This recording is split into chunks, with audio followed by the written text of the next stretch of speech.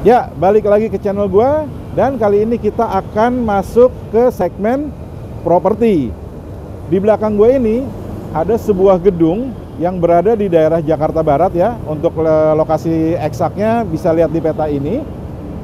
Dan gedung ini cocok buat lu yang lagi nyari tempat untuk dijadikan kantor atau tempat bisnis. Dan gue akan membuat sebuah walkthrough dari gedung ini termasuk uh, interiornya, fitur-fiturnya, kelengkapannya seperti apa selengkap mungkin. Oke, okay? udah nggak sabar lagi buat lo yang lagi nyari gedung, simak terus video ini sampai selesai.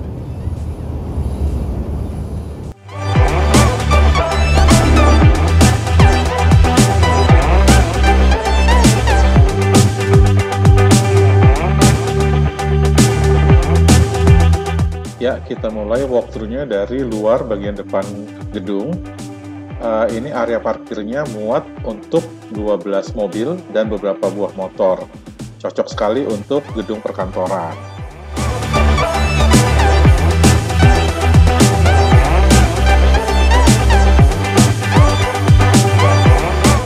Untuk lantai satu kita mulai dari area pintu masuk yang kalau di opening gue tadi kelihatannya ada rolling door-nya, nah ini di sebelah dalamnya. Jadi kalau rolling door dibuka, orang masuk dari sini.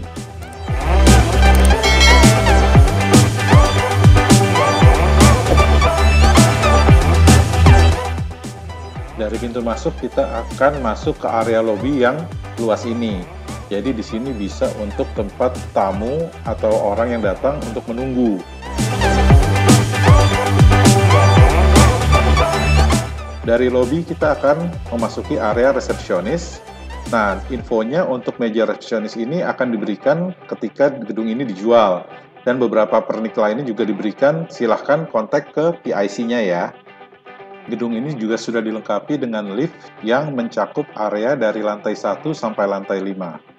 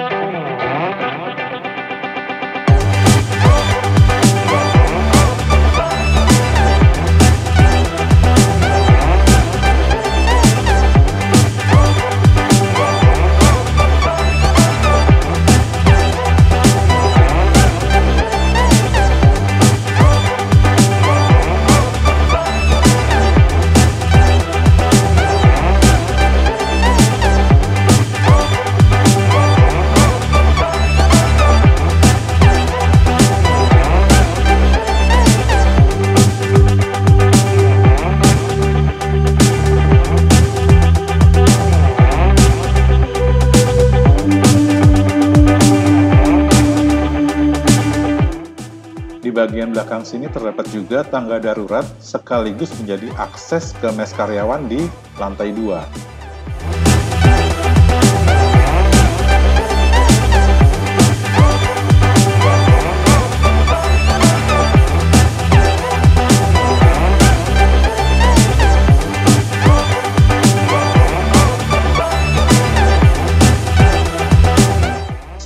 Udah gue ceritain di depan, gedung ini memiliki mes karyawan di lantai 2 yang terdiri dari tiga kamar.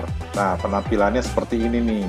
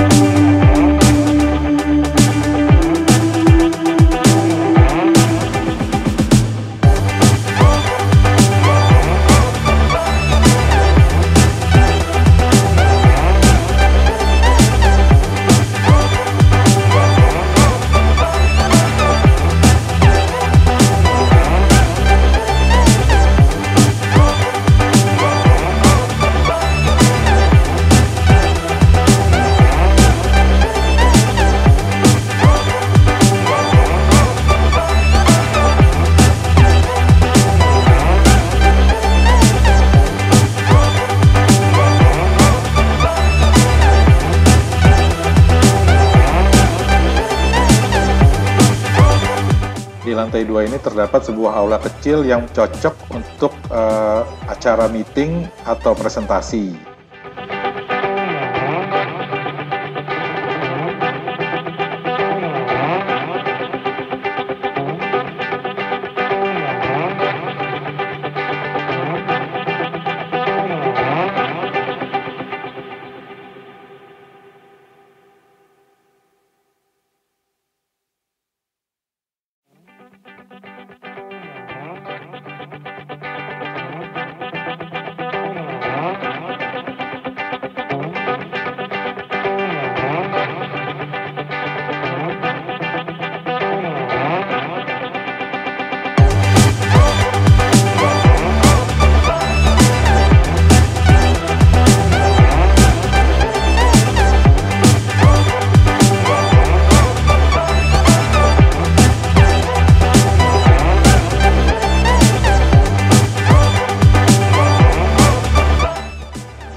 Lantai 3 terdapat ruang direktur utama yang cukup besar dan ruang direktur utama ini tersambung langsung dengan sebuah ruangan meeting yang juga cukup besar.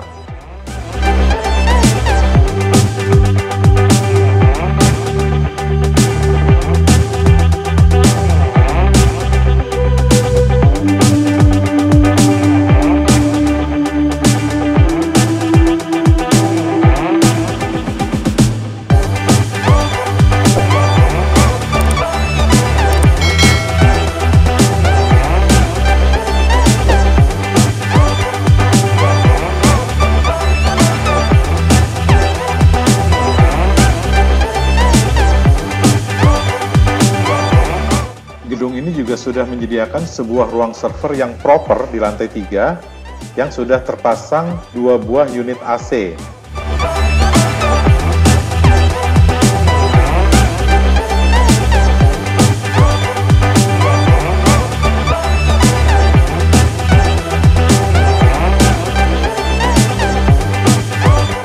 tangga darurat di lantai 3 ini terhubung dengan uh, tangga darurat yang tadi ke mes karyawan dan tembus sampai ke bagian belakang lantai 1.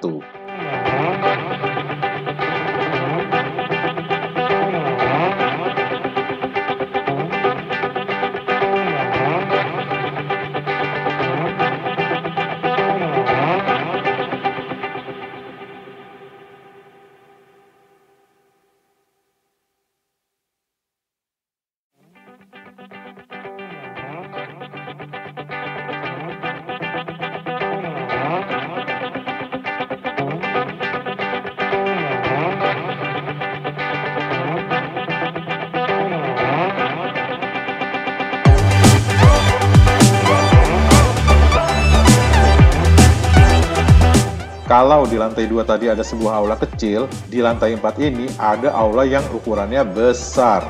Besarnya itu mungkin cukup untuk bikin sebuah seminar dengan jumlah peserta antara 30 atau mungkin sampai 40 orang.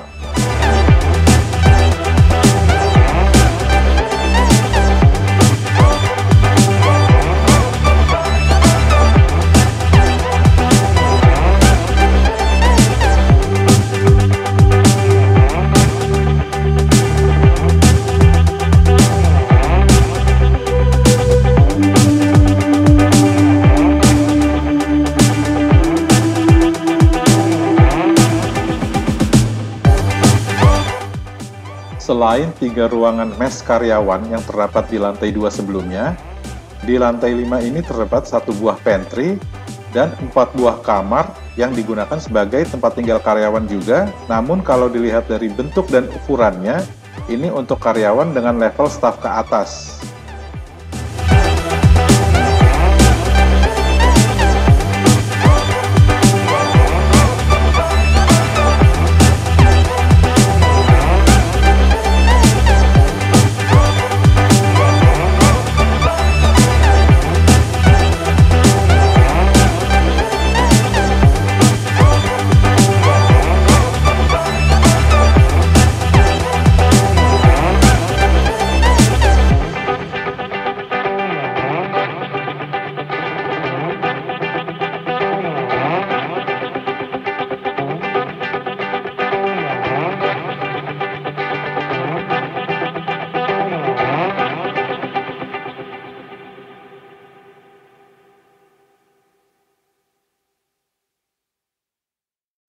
Dari lantai 5 ini kita dapat mengakses dua dak yaitu area yang uh, terbuka seperti ini.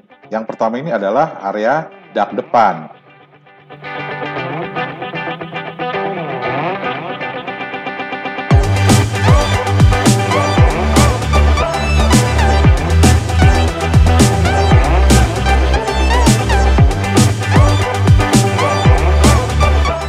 Area dak berikutnya adalah dak samping yang juga terdapat di lantai 5 ini.